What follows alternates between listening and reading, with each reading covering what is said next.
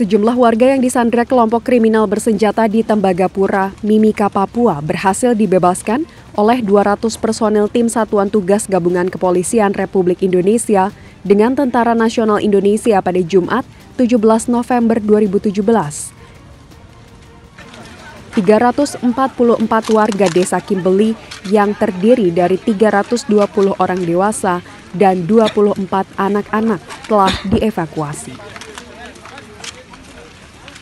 Meski diwarnai kontak senjata, dipastikan tidak ada korban jiwa dalam aksi tersebut.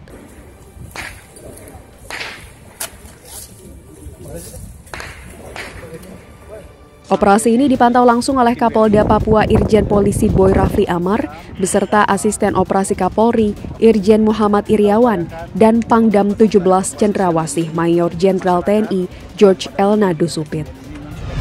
Ini memang sudah menunggu jadi kita upayakan karena jalan masih rusak, sedang diperbaiki, kita akan berupaya untuk berjalan kaki ke atas.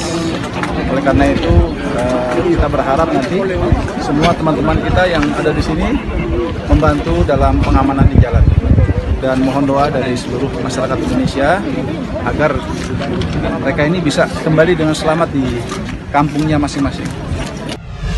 Saya Pangdam 17 Cendrawasih bersama Kapolda Papua bersama Bapak Asop Kapolri sudah sampai di tempat yang diduga tempat penyikapan atau penawanan dari kelompok separatis ya, yang dilakukan oleh separatis.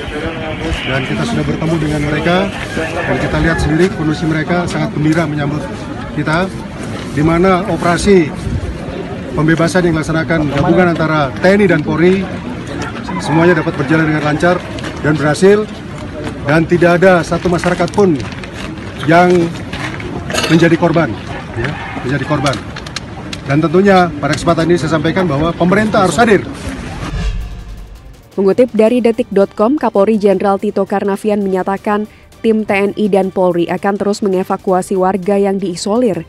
Hingga kini tim masih bekerja di lapangan untuk menyelamatkan warga. Sebelumnya sudah sepekan terakhir, sekitar 1.300 warga dilarang keluar oleh kelompok kriminal bersenjata Papua.